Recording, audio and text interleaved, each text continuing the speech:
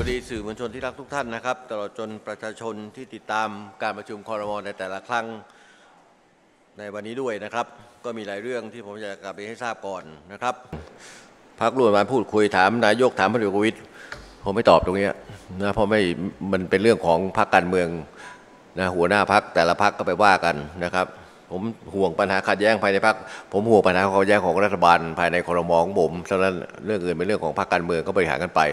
นะครับแต่ผมยืนยันว่าทุกพรรคการเมืองพรรคร่วมมาก็ยังร่วมมือกับรัฐบาลดีอยู่ ร่วมมือกับผมดีอยู่ทุกพรรคนะครับทั้งพรรคใหญ่พรรคเล็กขอบคุณทุกคนนะครับ ที่เข้าใจเรื่องสถานการณ์ในเมียนมาวันนี้มีความเข้มข้นมากกว่าเดิมนะครับ เพราะเราก็ไม่ต้องการให้มีการหลบหนีเข้ามาในประเทศไทยหรือข้ามแดนเรากลับไปที่โน่นแล้ววันนี้เราเพิ่มมาตรการอย่างเข้มงวด ตามแนวชายแดนพื้นที่ตอนในของเรา และประสานกับรัฐบาลเมียนมาในปัจจุบันนะครับในการจัดกำลังมามา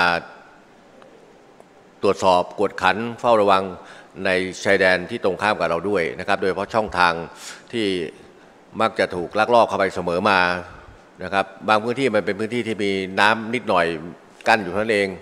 นะลุยข้ามไปน้ำตรงไหนก็ได้นะอันนี้ก็ต้องไปจัด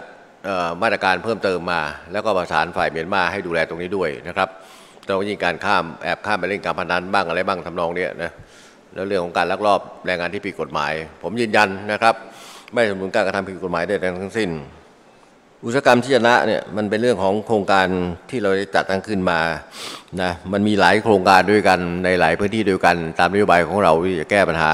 ความมั่นคงในพื้นที่ภาคใต้ของเราใน 3 จังหวัด และ4อำเภอของสงขลาโครงการชนะเป็นโครงการหนึ่งในโครงการเหล่านั้น เพราะนั้นก็ต้องไปทบทวนดูวันนี้ไม่ใช่ว่าจะยุติหรือไม่ยุติ นะวันนี้ก็ได้แต่งตั้งกรรมการคณะกรรมการตรวจสอบข้อเท็จจริง กรณีเมืองต้นโครงการเมืองต้นแบบของอำเภอชนะจังหวัดสงขลาไปแล้วนะครับ ก็ต้องหาวิธีการดำเนินการว่าจะทำยังไงให้มันเกิดขึ้นได้ เพราะผลประโยชน์มันเกิดกับประชาชน เพราะฉะนั้นใครจะได้ประโยชน์ใครจะเสียประโยชน์ใครจะทุจริตไปว่ากันมาตามกระบวนการนะครับ เรื่องขับเฮ้าผมไม่มีเวลาขนาดนั้นนะนะวันนี้ผมก็ให้หน่วยงานที่เกี่ยวข้องเขาได้ติดตามนะความเคลื่อนไหวในเหล่านั้นติดตามตามกฎหมาย นะในเมื่อท่านฟังได้ ผมก็ให้ราชการที่มีถูกเกี่ยวข้องเขาฟังได้เหมือนกันนะเพื่อจะได้ชี้แจงให้ถูกต้องในกรณีที่มีการบิดเบือนนะครับ อันนี้ก็สุดแล้วแต่ประชาชนจะว่าไงนะครับ ใครจะเข้ามาพูดก็แล้วแต่นะผมถือว่าวันนี้มันก็เป็นเรื่องของโลกใบใหม่โลกยุคใหม่ เพราะฉะนั้นเราต้องดูที่ว่าอะไรที่มันทำให้บ้านเมืองสงบสุขมีเสถียรภาพนะไม่งั้นทุกอย่างก็ วุ่นวายไปหมดอะสับสนโนลมานไปหมด ประชาชนก็เสียขวัญต้องนึกถึงประชาชนเขาบ้างนะเขาจะเสียประโยชน์อย่างไรในการกระทำที่มันไม่ถูกต้องของท่านนั่นคือเสรีภาพสิทธิเสรีภาพของประชาชนโดยทั่วไปตามรัฐธรรมนูญ ที่เป็นของปวงชนชาวไทย ไม่ใช่ของประชาชนปวงชนคือคนทั้งหมดของประเทศ เป็นผู้ได้รับประโยชน์จากรัฐธรรมนูญฉบับนี้นะครับ เรื่องวัคซีนพูดไปแล้วนะช่องเจ็ด เนี่ยกับพีจะฉีดคนแรกหรือเปล่าคนที่สองหรือคนที่สามหรือฉีดอะไรกระพีทั้งนั้นน่ะคำถามแบบนี้ผมว่ามันเป็นกระพีสิ่งที่เราได้ยินดีร่วมกันคือเรามีวัคซีนให้สำหรับฉีดแล้ว การจะฉีดให้ใครเป็นเรื่องของคณะกรรมการพิจารณาขึ้นมา และขึ้นอยู่กับการสมัครใจของใครเป็นผู้ฉีด ก็เท่านั้นเองนะประชาชนทุกคนก็มีส่วนร่วม แล้วเขาก็เปิดช่องทางให้แล้วใครประสงค์จะฉีดสมัครใจ ก็ส่งรายชื่อขึ้นมาที่กระทรวงสาธารณสุขก็เปิดช่องทางตรงนี้ไปอยู่แล้ว เท่าที่ทราบว่าส่วนหนึ่งก็อยากจะฉีดไว้ใจส่วนหนึ่งก็ลังเลอยู่ ส่วนหนึ่งก็ไม่ฉีดนะรอดูสถานการณ์ไปก่อน ก็เป็นเรื่องความสมัครใจ แต่สิ่งสำคัญที่สุดคือรัฐบาลก็ต้องเตรียมวัคซีนให้ให้พร้อมสำหรับคนทั้งประเทศ โดยทยอยรับมาทยอยจัดหาอย่างอื่นมาทั้งในภาครัฐและภาคเอกชนต่อไปด้วยนะครับ ผมไม่ได้ปิดกั้นใครแต่แรกก็จำเป็นต้องฟังข้อสังเกตหรือข้อมูลมาจากกระทรวงสาธารณสุขด้วย ถึงความปลอดภัยถึงในหลักการในเรื่องของการขึ้นทะเบียนอะไรต่างๆเหล่านี้นะครับ ก็ฝากภาคเอกชนด้วยนะครับ ใครที่จะจะนำเข้าอะไรเข้าก็ขออนุมัติให้มันถูกต้อง ขึ้นทะเบียนให้มันถูกต้องตามระเบียบต่างๆ ทั้งหมดนะครับ เรื่องสารยาผมไม่ตอบเป็นเรื่องของสารยาเป็นเรื่องของศาลผมบอกกี่ครั้งแล้วเขาจะตัดสินยังไงก็เรื่องของท่าน เป็นองค์กรอิสระนะครับ